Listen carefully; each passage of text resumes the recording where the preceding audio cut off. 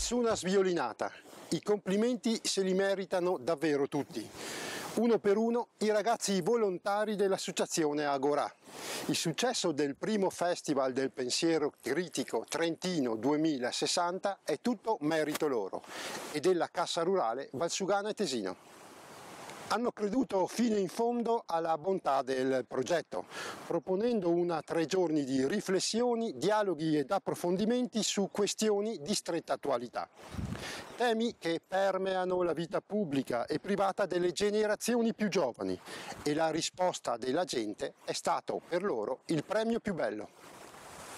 La strada è quella giusta, la cultura, quella con la C maiuscola o capitale, si può ancora fare e davvero bene, dimostrando che dialogo civile, confronto e proposte di qualità, sebbene organizzate e pensate, ci aiutano a capire il nostro presente e pensare al futuro che vogliamo e che dobbiamo costruire tutti quanti insieme.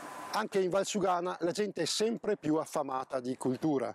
Le persone che hanno riempito le piazze e le corti di borgo aiutano e stimolano i giovani organizzatori ad essere sempre più protagonisti del contesto in cui vivono.